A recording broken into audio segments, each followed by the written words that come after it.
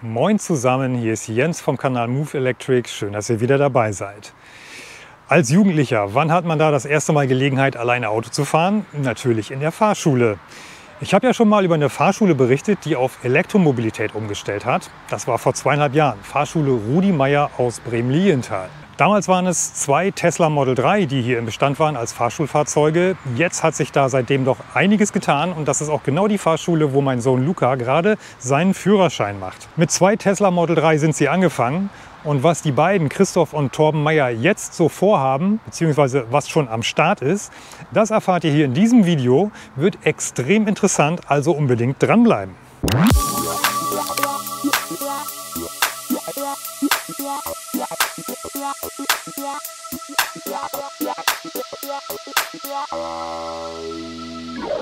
Ja, neben mir sind Torben und Christoph Meyer von der Fahrschule Rudi Meyer. Moin, ihr beiden. Hallo Jens. Wir haben schon mal ein Video gemacht, das war vor zweieinhalb Jahren, glaube ich. Da ging es darum, euch überhaupt noch vorzustellen, dass ihr eine der ersten Fahrschulen hier in Bremen seid, die mit Elektroautos schulen. Damals war es ein Tesla Model 3. Ja. Ähm, das habt ihr jetzt gar nicht mehr, sondern ihr seid jetzt umgestiegen auf äh, Q4 und ihr habt jetzt gerade sieben Stück davon geordert, richtig?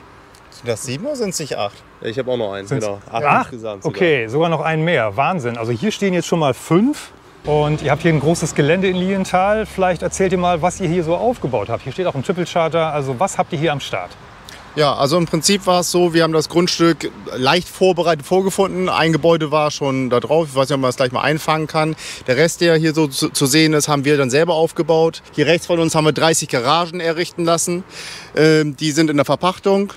Ähm, wir haben hier mehrere Charger aufgebaut, von kleinen 11 kW Chargern bis zu diesem 150 kW äh, Gerät da vorne. Und äh, die Entwicklung geht eigentlich jetzt weiter. Ist der auch öffentlich verfügbar? Könnte ich da auch laden? Oder? das wäre ja wieder so ein Thema. Ne? Den Lader haben wir tatsächlich über eine Bundesförderung fördern lassen. Und die Förderung besagt, dass die ersten drei Jahre das nur betrieblich genutzt werden darf und dann darf er öffentlich geschaltet werden. Die kleinen Säulen an den Filialen sind schon freigegeben teilweise und da sind wir bei im Verkauf 70 Cent pro Kilowattstunde. Ach, AC, 70 Cent. Aber ihr Ja. nehmt es aber auch von den Lebendigen. jetzt aber, ähm, wie teuer ist euch das jetzt gekommen, diese 150 kW Säule? Könnt ihr das sagen? Oder ist Was das die Säule, Geheimnis? was, was die Säule wirklich gekostet hat? Oder ja, wenn ihr die Förderung abzieht, was habt ihr dafür hinblättern müssen? So? Würde mich mal interessieren. Säule 60, Netzanschluss, muss ich kurz hochrechnen, Netzanschluss 80.000, 140, ähm, 180 minus Förderung, ungefähr 100.000. Der absolute Traum wäre ja tatsächlich, dass wir die ganzen Gebäude, die man hier so sehen kann, dass wir die mit PV-Anlage ausstatten und unterm Strich dann autark unterwegs sein könnten. Ähm, von der Gesamtleistung her der PV-Anlage, die hier installiert werden könnte, würde das unseren Verbrauch auch tatsächlich decken. Das passt sehr gut aufeinander. Natürlich haben wir ein bisschen das Problem, dass die Autos unterwegs sind. Wir haben insgesamt vier Filialen und dementsprechend können wir eigentlich genug Strom produzieren, aber er wird ja hier produziert. Und wir haben ja vier Standorte. Und das steht natürlich so ein bisschen im Konflikt zueinander. Ja, da gehen wir vielleicht nachher nochmal drauf ein. Also Stichwort Cloud, Stromspeicher. Ähm, also habt ihr quasi dadurch, dass ihr jetzt auf Elektroautos umgestellt habt, natürlich einen riesen Kostenvorteil, auch was die Betriebskosten angeht. Also Stichwort Versteuerung, Stichwort Treibstoffkosten. Also das Ding ist ja, einfach mal von heute auf morgen auf E-Mobilität umzuschalten, funktioniert nicht. Wir, da steckt eine langfristige Planung hinter. Ähm, das ist so ein bisschen wie Henne, was war zuerst da, Henne oder Ei? Hat man erst die Ladestation beispielsweise, die Ladeinfrastruktur oder erst die E-Fahrzeuge? Wir wollten uns da nicht darauf verlassen, dass öffentliche Ladesäulen ständig zur Verfügung stehen, wo unsere Fahrlehrer ähm, immer Zugriff drauf haben. Das funktioniert ja nun mal nicht. Dementsprechend haben wir erstmal die Ladeinfrastruktur gebildet. Jede unserer Filial, Filialen ist mit Ladestationen ausgestattet. Wie gesagt, der Schnelllader, den wir hier haben, für ähm, ja, spontane Sachen, wo es schnell gehen muss, den haben wir. Und als wir diese Ladeinfrastruktur gebildet haben, haben wir dann gleichzeitig die E-Fahrzeuge bestellt. Okay, ihr hattet jetzt vorher, am Anfang seid ihr gestartet mit dem Tesla Model 3. Das war so ein bisschen Hype, ne? also Tesla-Fahrschule und so, das war ganz cool. Jetzt ist der abgestoßen, jetzt ist es Q4 geworden. Warum denn jetzt gerade Q4? Warum SUV? Gab es da Gründe für? Nee, wir wollten dem Fahrer schon einen soften Übergang äh, bieten, weil wir immer noch mit Schaltfahrzeugen unterwegs sein müssen. Das heißt, wir fahren auf einem Golf 8 Schalter und der Übergang zu einem Audi ist immer noch sanfter als zu einem Tesla, der halt ganz anders von der Ausstattung ist, von der Bedienung her. Das Auto ist schön groß, übersichtlich und ist von den E-Fahrzeugen tatsächlich vom Komfort, von der Ausstattung sehr gut, weil es ist ja immer noch ein Arbeitsplatz für die Fahrlehrer. Bei den Fahrlehrern kommt so ein E-Auto auch gut an oder sind die skeptisch? Ja, da, da, da sind die Fahrlehrer geteilter Meinung. Die, die alten Hasen sind immer so, ich muss was zum Schalten haben, es muss einen Dieselgeruch haben so ein bisschen. Aber die Jüngeren sind auch natürlich begeistert von den Fahrzeugen und fahren natürlich auch gerne dann in der Privatnutzung damit auch rum. Wo ich Führerschein gemacht habe, da war das so, da gab es dann bei mir im Dorf, ich komme vom, vom Dorf, gab es so drei Fahrschulen und äh, die Fahrschule, die den Mercedes hatte, die hatte die meisten Fahrschüler. Mhm. Ja? Also die mit dem Golf, die war da nicht so beliebt und da gab es irgendwie noch ein, keine Ahnung was, äh, Audi, Audi 80 oder so und äh, ja, Mercedes. Wie ist das denn hier? Ist das heute noch so, dass die Fahrschüler äh, sagen, ey, die fahren coole Audi Q4s, äh, wegen des Autos gehe ich dahin oder ist das völlig gar kein Thema mehr, die Markenaffinität bei den Jungs oder Mädels? Es gibt beides, würde ich mal so behaupten. Also, dass, man, dass es total in eine Richtung geht, kann man nicht behaupten. Ähm, die Marke spielt nicht mehr so die Rolle, wie es früher mal der Fall war. Ähm, ich hatte auch schon Fahrschüler, die standen kurz vor der Prüfung und da habe ich mal spaßeshalber gefragt, sag mal, weißt du eigentlich, was für ein Auto das hier gerade ist? Und die wussten noch nicht mehr die Marke, geschweige denn das Modell. Ja, und jetzt dürfen wir mal mitfahren bei der letzten Fahrstunde von meinem Sohn Luca, kurz bevor er Prüfung hat. Ich bin ja echt gespannt, also gleich geht's los. Du hast gleich deine letzte Fahrstunde vor der Prüfung. Wie finden Sie das so, elektrisch zu fahren? Macht natürlich Spaß und ist ein ganz anderes Gefühl, als so einen Verbrenner zu fahren, weil die Beschleunigung anders ist, das Fahrverhalten ist natürlich auch ganz anders. Also im Prinzip haben wir jetzt so eine typische Prüfungsstrecke gehabt. Wir haben äh, laut unserem Ausbildungsbogen alles abgearbeitet, was Luca halt wissen muss. Luca weiß alles, kann alles. Äh, jetzt geht es nur darum, das äh, zu erhalten. Und auch da die psychologische Komponente spielt auch eine Rolle. Wenn man jetzt irgendwie eine Woche nicht gefahren ist und dann die Prüfung halt spontan macht, dann sind das keine guten Voraussetzungen. Ja. Dementsprechend fahren wir heute nochmal. Aber eigentlich kommt, es kommt nichts Neues hinzu. Es ist einfach nur das erhalten, was eigentlich schon da ist. Wie ist es für dich jetzt eigentlich? Wenn Vater hinten drin sitzt, ist es für dich ein Macht Unterschied? eigentlich kaum gerade einen Unterschied. Das wird erst lustig, wenn wir begleitetes Fahren machen Ja, genau. und ich dann auf dem Beifahrersitz sitze. Wenn ich dein Auto fahre. Wenn du mein Model S fährst und ich dann vor Angst in Schweiß ausbreche. Torben, ihr, ihr habt ja jetzt äh, ganz viele E-Autos im Bestand und die müssen ja alle geladen werden. Da zahlt ihr jetzt ja Ladestrom für. Und ihr habt jetzt ein Grundstück, wo du PV drauf machen willst. Was möchtest du machen? Genau, folgendermaßen sieht das aus. Wir haben da insgesamt 30 Garagen, die wir vermieten. Wir haben dann noch ein kleines Gebäude, was da nehmen ist, ein paar Container. Und ich sag mal so, um die 700 bis 800 Quadratmeter stehen zur Verfügung, um die PV-Anlage da zu installieren. Also Dachfläche. Dachfläche, genau richtig. Und äh, das Schönste wäre natürlich, wenn wir da den Strom produzieren und selber in den E-Fahrzeugen verbrauchen. Problem ist nur an der ganzen Geschichte, jetzt äh, verbrauchen wir den Strom natürlich an den verschiedenen Standorten der Fahrschulen in Bremen, Lienthal und Grasberg. Aber wir erzeugen den Strom ja im Gewerbegebiet, halt. woanders. So, jetzt müssen wir irgendwie, das Schönste wäre, wir könnten den Strom im Cloud-Speicher irgendwie speichern, dann wieder abrufen, wenn wir es brauchen. Die Technologie gibt es ja. Aber ob das jetzt wirtschaftlich gestaltbar ist, das weiß ich halt nicht. Also Leute, falls ihr ähm, da Erfahrung habt im gewerblichen Bereich mit Strom-Cloud-Anbietern, ähm, wo man eben so 100 bis 150 kW Peak einspeist und das dann woanders wieder abrufen kann, dann schreibt mir das doch gerne mal in die Kommentare. Weil ich kann mir vorstellen, so eine Fahrschule wie Rudi Meier, die jetzt auf Elektromobilität komplett umstellt, die hat da sicherlich Interesse dran und da gibt es mit Sicherheit noch mehr, die da Interesse dran haben. Also falls ihr da was wisst, schreibt es mir in die Kommentare. Aber das Model 3 als äh, Fahrschulwagen habt ihr nicht mehr, oder? Nee, nee, die haben wir jetzt abgestoßen. Wir haben ja auch den Fuhrpark komplett auf Audi Q4 e-tron jetzt umgestellt. Hat auch den Hintergrund, dass alle das gleiche Fahrzeug fahren. Dass so ein Wechsel, wenn das mal nötig ist, weil ein Fahrlehrer krank ist oder im Urlaub ist, dass es kein Problem ist. Weil jetzt vom Model 3 jetzt auf, auf den Q4 hier umzusteigen, ist ja schon wieder was anderes. Äh, kannst du denn sagen, dass die Autos unterschiedlich ankommen bei den Fahrschülern? Also Also der Mega-Hype, der ganz zu Anfang da war mit dem, mit dem Tesla, äh, ja, der, das ebbt so ein bisschen ab.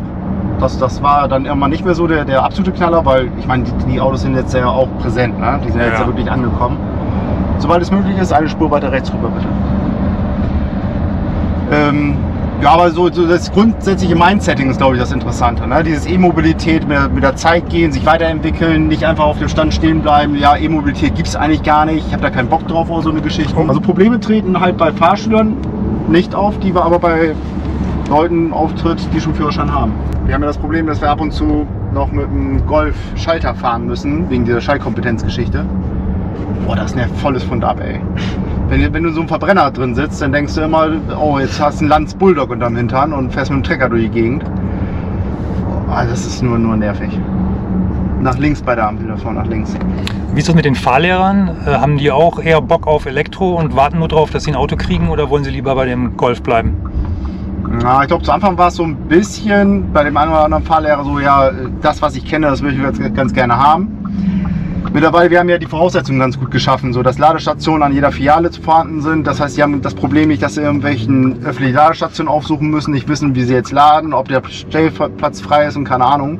Und wir haben in Lienthal noch einen Schnelllader mit 150 kW. Das heißt, Worst-Case-Szenario, alle Ladesäulen sind irgendwie bei uns auf den Grundstücken belegt, dann können die immer noch dahin fahren, weil bei meinen kurz dran stehen für 10 Minuten, für eine Stunde, ist ja schon wieder ausreichend. Also daher ist die Toleranz schon da. Und wie oft ladet ihr dann die Autos so? Am Tag einmal oder mehrmals? Genau, wir haben ja, also einige nehmen das Fahrzeug ja auch mit nach Hause, ähm, aber einige lassen das Fahrzeug an der Fahrschule stehen und dann steigen die morgens ins vollgeladene Auto ein. Das ist natürlich auch ganz Hätte geil. ich jetzt einfach fahren können, 10 mehr fahren können? Genau, mach ruhig, bring's ruhig. Ja, sein. nee. Genau. Ja, ist doch schwer zu kalkulieren, die ganze Geschichte. Du weißt ja nicht, die sind nur noch am Fahren im Gegenverkehr. Ich Und kann ja- ja, nicht sehen, ob die Ampel jetzt grün oder rot ist. Exakt, genau, das muss am Fahrverhalten so klar machen. Ja, und du steigst halt morgens ins vollgeladene Auto ein. Wie praktisch ist das denn? Nichts Ja. mehr zum Tanken fahren und das, Das reicht für den ganzen Tag. Und das reicht auf jeden Fall für den ganzen Tag. Der hat jetzt eine Reichweite hier von, ich glaube, WLTP von 500 ein paar zerquetschen. Und ich sag mal so, bei so einem Wetter kommst du auch ganz gut hin. Wir sind ja hauptsächlich im Stadtverkehr unterwegs, was ja Stimmt. dem Ganzen auch noch in die Karten spielt. Aber 500 Kilometer schaffst du am Tag nicht, egal was du machst. Ich sag mal so, wenn du jetzt elf Fahrstunden am Stück hast, nur Autobahn, dann wird es irgendwann schwierig, aber das ist halt unrealistisch. Ja, das Auto ist, also ist alles gut. Ich finde von der Verarbeitung her, ich saß jetzt lange Zeit lang nicht mehr im Tesla, auch mit diesen, ja, wenn die jetzt hier in äh, Brandenburg da gefertigt sind. Ähm, ich sag mal, von der Verarbeitung her ist das schon ganz cool. Ist halt Audi so. Das, das passt schon ganz gut. Software, also ich bin da total, was Mainstream ist. Softwaremäßig ist halt Tesla nicht zu schlagen, so, ne? Von der ganzen Menüführung her, wie das so funktioniert. Updates ziehen, willst du ein Update haben? Ja, 2 Uhr nachts, bitte zieh das mal. Das ist schon wesentlich entspannter, ne? Ja. Ja, warte mal, ich muss mal kurz deinen, deinen Sohn verprügeln. Ja, was hat er gemacht? Haltelinie erzähl, ein bisschen überfahren. Ja, Luca, erzähl doch mal, was war jetzt dein Fehler? Ja, also ich habe die Haltelinie überfahren, habe ich ja gesagt. Und was kostet dich das? Den Ja, die Führerschein. Die Prüfung und 20 Liegestütz bei mir, ne? Also, okay. Übrigens, du hast hier einen separaten Streifen. Das heißt, wenn Ja. von links was kommt, kannst du natürlich hinschauen, aber unterm Strich spielt es keine Rolle, weil du eh separat hier unterwegs bist. Ja, ich war auch gerade beschäftigt mit Reden, abgelenkt. Äh. Ja, du musst mir nicht Ach so, wir sind schuld jetzt, oder was? Ja. Verstehe, verstehe. Ich muss mich einmal durchsetzen gegenüber dem Prüfer, den Sachverständigen. Da kommt immer so dieses, ah, haben wir noch genug Akku, kommen wir auch wieder zurück oder müssen wir bei der Uni irgendwie aufhören und müssen nach Hause laufen? Das ist auch immer so eine überflüssige Diskussion. Ist ja eigentlich auch ganz witzig so, aber ein bisschen Wahrheit schwingt immer mit. Das sind auch meistens ältere Semester, ne, diese Prüfer. Oh ja, häufig schon. Es gibt auch ein paar Jüngere mittlerweile so, aber das ist immer so ein The- Thema. Ja, E-Mobilität, ja, das Pfleger hat keine Zukunft und dann muss ich irgendwie argumentieren mit Wasserstoff und so eine Geschichte im Pkw-Bereich, wo ich denke, meine Güte. Ähm, die wollen einfach dieses, ich möchte tanken. Das ist irgendwie so, scheint so, so, so ein Urinstinkt zu sein. Ja, oder ja, ich, ich kaufe kein Auto, ich muss mindestens 1000 Kilometer weit kommen. Aber wie ist das denn von den Kosten her jetzt im Vergleich zu den Benzinern? Habt ihr da schon äh, so eine Auswertung, ob die E-Autos was sparen für euch? Ja, wir haben eine Kalkulation im Vorhinein ja gemacht. Und ähm, ja, von den Betriebskosten halt, was Sprit angeht, ist es halt wesentlich günstiger. Aber wir haben uns auch ein bisschen vertan. Ähm, es wird noch günstiger tatsächlich. Weil wir sind ja, wir haben ja mit Strompreisen gerechnet, die der normale Otto, äh, der Otto Normalverbraucher im Haushalt so zahlt. Und wir sind ja nun mal Gewerbe und da sind noch andere Strompreise halt möglich. Und dementsprechend wird es halt noch wesentlich günstiger. Aber konkrete Zahlen kann ich dir jetzt nicht nennen, aber ich sag mal so, sind wir beim Drittel der Spritkosten oder ein Viertel oder irgendwie sowas in dieser Richtung. Ja, das rechnet sich ja dann richtig auf Ja, und wir, wir schieben mit so einer Karre 40.000, 50.000 Kilometer locker jedes Jahr. Und das mal acht Fahrzeuge, neun Fahrzeuge. Ja, das macht sich dann schon bemerkbar. Ach, dann mit hier Wartung und also hier die ganzen Wartungsgeschichten, Inspektionen und so weiter, fällt ja nicht so umfangreich aus wie beim Verbrenner. Steuern fallen weg. Steuern fallen weg. Ähm, ach, das sind so viele auch so kleinere Baustellen, die dann schon interessant halt sind. Dann geht es auch schon damit los mit der 1% Versteuerung, die man beim Verbrenner hat, bei selbst bei Privatnutzung. Ist Ja. ja nicht 1% bei Elektrofahrzeugen. Auch da wird ja wieder Geld frei. Fahr dann halt rechts bitte da bei der Ampel. Zum Meckes rein. Zum Mac. Aber rückwärts bitte, ja? Ich fand das ja damals extrem, als ich auf Elektromobilität umgestiegen bin, auch mit dem Privatfahrzeug. Da fand ich schon so, oh krass, ist anders. Nur krasser ist der Schritt wieder zurück regelmäßig. Ja. Wenn ich im Verbrenner dann sitze, denke ich, meine Güte. Vom Golf dann in den Tesla rein. Dann denkst du, haben die was vergessen einzubauen? Ja. Dann fehlt hier alles. Ja. Und dann andersrum wieder in den, in den Golf einzusteigen. Da fragt man sich, also warum hat der Wagen denn so viele Knöpfe? Wofür sind die alle gut? Wie ist denn das bei euch? Die äh, Fahrschülerinnen sind ja oft jung meistens. Gibt ja welche, die machen später Führerschein, aber die meisten machen das ja eher jung. Sind die dem Ganzen denn äh, offener gegenüber als ältere Leute, die ihr so kennt, oder ist das da auch durchwachsen? Ja, nee, die, die Jüngeren, also erstmal ist das grundsätzliche Interesse an, an, an Fahrzeugen gesunken im Vergleich zu den letzten 20 Ja. Jahren. Also früher war es halt wichtig, was für Autos da so am Start. Das ist zum, heute auf jeden Fall nicht mehr so der entscheidende Faktor. Ich glaube, dass bei den Jüngeren schon ganz gut ankommt, dass es so richtig, zukunftsgerichtet ist. Und viele haben ja auch ähm, dieses Verantwortungsgefühl für die, für, für die Umwelt und so weiter. Und das ist ja auch ein wesentlicher Punkt. Ne? Und das sehen die jungen Leute halt auch so. Und bei den Älteren ist immer dieses, ja weiß nicht, dieses, ich habe das früher gemacht und das ist doch heute auch noch gut. Dieses Festhalten an dem Alten. Und dann so argumentieren, dass es okay ist, noch Verbrenner zu fahren, weil so kenne ich das ja. Ähm, also da ist die, die Gegenwehr ein bisschen größer. Und ich glaube auch, dass viele Fahrschüler, die jünger sind, zu Hause dann irgendwelche Sprüche unter Umständen kriegen. Aber würdest du denn sagen, dass das äh, oder dass die jüngere Generation von heute weniger oft einen Führerschein macht als früher? Früher hat man ja quasi zu 100 Prozent die Quote gehabt. Ja. Also jeder, der 18 war, spätestens 19 hatte man einen Führerschein. Ja. Ist das heute nicht mehr ganz so? Nein, ist heute nicht mehr so. Also im Prinzip war es auch so, als ich damals gab es dieses begleitende Fahren ja nicht. Und wer mit 18 nicht den Führerschein hatte, hat irgendwie schon mal blöde Sprüche gekriegt im Sinne von, was stimmt mit dir nicht? Diesen Stellenwert, was ein Führerschein damals hatte, vor 20 Jahren beispielsweise, den hat er heute nicht mehr. Heute ist das so, ja, ich muss, viele kommen an, muss, ich muss das machen, weil meine Eltern es gerne wollen, ich brauche den wahrscheinlich für den Job irgendwann. Aber so diese intrinsische Motivation, ich habe Bock auf Autofahren, gibt es auch noch, aber die Quote ist auf jeden Fall gesunken. Und auch dieses, ja, weil ich den Führerschein habe, ja, wenn es nicht diesen Monat, nicht nächsten Monat ist, Hauptsache ich habe ihn irgendwann mal so. So, Luca, wie war es für dich? Einen Fehler hatten wir noch beim Stoppschild, ne? Ja. Aber morgens Prüfung. Meinst du, schaffst du es? Ich bin relativ optimistisch. Was meinst du, Torben? Schafft er das morgen? Die Fähigkeiten sind da und umsetzen wird das auch. Jo. Hat er einen guten Fahrlehrer gehabt. Wer war das nochmal? Keine Ahnung. Alles klar, Luca, hau rein. Und am nächsten Tag hat Luca die Prüfung natürlich bestanden. Und er durfte auch zwei Stunden später gleich mein Model S fahren. Und ich würde sagen, er sah ganz zufrieden aus.